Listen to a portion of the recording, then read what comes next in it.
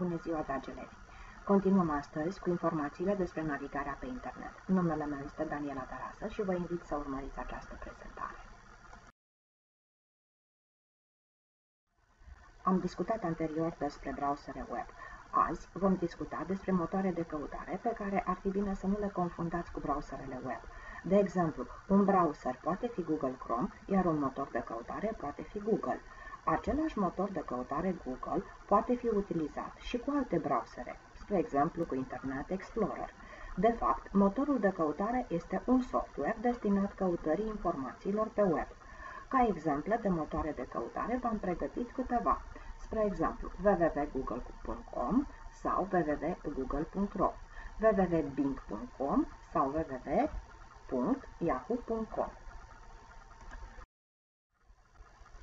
Pentru căutarea informațiilor pe internet cu ajutorul motoarelor de căutare, vom învăța uh, astăzi despre utilizarea unor operatori și îi vom lua pe fiecare pe rând în parte cu câteva exemple.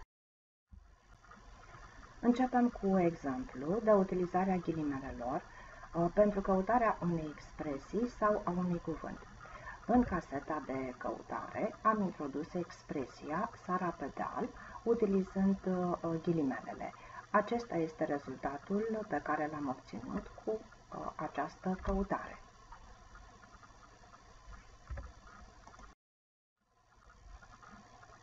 Utilizarea operatorului steluță pentru căutarea unui citat din care lipsește un cuvânt.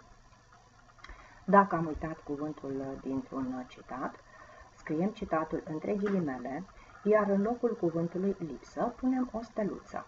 Ca exemplu am uh, luat ridicarea la și am pus uh, steluță pentru că am uitat cuvântul putere a unui număr uh, natural.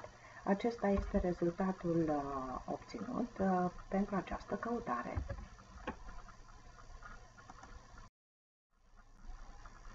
Acum avem un exemplu de utilizare a operatorului slash. Uh, care ne ajută să găsim orice variante dintr-un uh, șir de cuvinte. Trebuie doar să le enumerăm variantele potrivite uh, și să le separăm printr-un slash vertical. Google va găsi toate documentele cu oricare dintre aceste cuvinte. Am utilizat în exemplu înghețată, vanilie, iaurt și acesta este rezultatul căutării. De data aceasta uh, vom învăța să folosim uh, operatorul ampersand. Uh, dacă veți uni câteva cuvinte cu ajutorul acestui operator, Google va găsi documentele unde aceste cuvinte stau în aceeași frază. Ca exemplu, am utilizat grădina botanică ampersand Iași și am găsit aceste documente. Pentru căutarea unui document care conține un anumit cuvânt, utilizăm operatorul plus înaintea cuvântului căutat. Nu uitați să nu separați cuvântul căutat de operatorul plus uh, printr-un spațiu. Ca exemplu, am luat uh, căutarea rezultatelor de la Olimpiada de Informatică, etapa județeană. Am scris în caseta de căutare rezultate Olimpiada Informatică plus județeană și acestea sunt rezultatele obținute. De data aceasta veți învăța cum să excludeți un cuvânt din căutare. Spre exemplu, dacă vreau să găsesc informații despre tabere de vară, dar niciuna să nu fie în uh, Brașov, uh, am utilizat operatorul uh, minus și l-am scris în fața cuvântului pe care am vrut să îl exclud. Atenție să nu lăsați spațiu între operatorul minus și cuvântul pe care vreți să îl excludeți. Am scris în caseta de căutare uh, tabără de vară minus Brașov și am obținut informații despre tabere de vară, toate, dar nu în Brașov. Pentru a căuta informația pe un anumit site, aveți nevoie de operatorul cu același nume, site.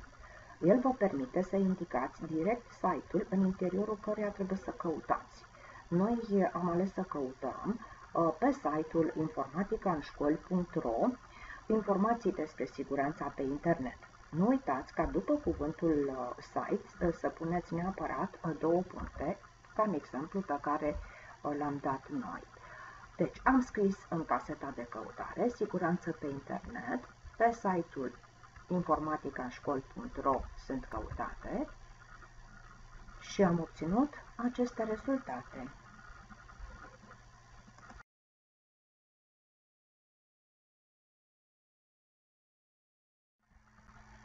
Acum uh, vom învăța să căutăm uh, un anumit tip uh, de fișier. Pentru asta aveți nevoie de operatorul file type.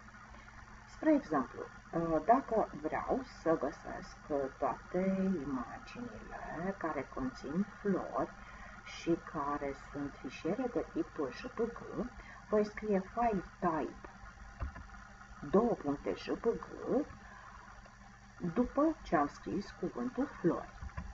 În caseta de căutare am flori, file type 2 puncte jpg, să nu uitați operatorul 2 puncte și am obținut aceste rezultate. Puteți să căutați orice uh, tip de fișier, JPG, JPEG, PDF, DOC sau orice doriți.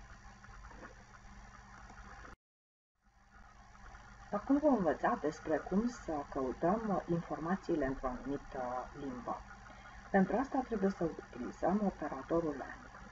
Uh, de exemplu, uh, am zis să căutăm informațiile despre Albert Einstein, uh, dar numai cele scrise în limba română, existente în limba română. Am scris în caseta de căutare Einstein Albert Lang 2 puncte ro și am obținut aceste rezultate. Nu uitați să folosiți după operatorul leng cele două puncte care să separe operatorul leng de uh, limba în care uh, vreți să fie documentele. Uh, pentru engleză veți indica N, pentru franceză FR, pentru italiană IT.